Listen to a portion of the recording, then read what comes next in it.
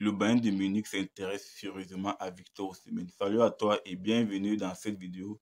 Dans cette vidéo, on va parler de Victor Osimhen, les gars. Mais avant de commencer, si tu me découvres à travers cette vidéo, ici, nous on parle de foot.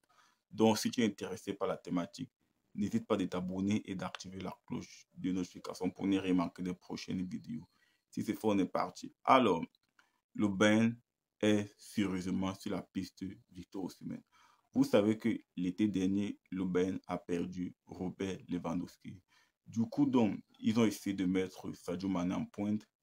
Ça n'a pas trop marché. Ils ont remis Eric Marcin Choupo-Moting. Eric Marcin Choupo-Moting, qui était déjà le remplaçant de Lewandowski la saison précédente. Donc, ils ont mis Choupo-Moting, ça a marché. Depuis, donc, ça marche, mais le sent que Choupo-Moting n'est plus trop jeune, ce n'est plus l'avenir. Du coup, il se penche sur Victor Osimhen. Est-ce que c'est une bonne pioche? Pour moi, c'est une très bonne pioche, les gars. C'est une très bonne pioche. Je partage à 100% l'avenir de Victor Osimhen au Bayern de Munich. Pourquoi je partage ça? Parce que c'est un mec qui correspond parfaitement au profil du Bayern de Munich. C'est un mec qui est rapide, c'est un mec qui décroche, c'est un mec qui participe au jeu, c'est un mec qui marque beaucoup de buts.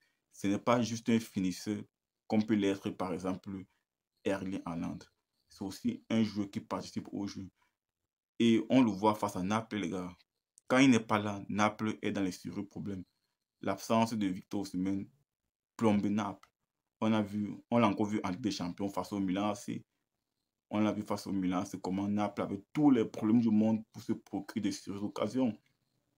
Ils ont eu tous les problèmes du monde pour se procurer des sérieuses occasions, les gars. Donc, moi, je trouve vraiment que Victor Osimhen, c'est un mec qui peut beaucoup apporter au Bayern de Munich il a vraiment, il a vraiment tout ce qu'il faut pour réussir au Bayern.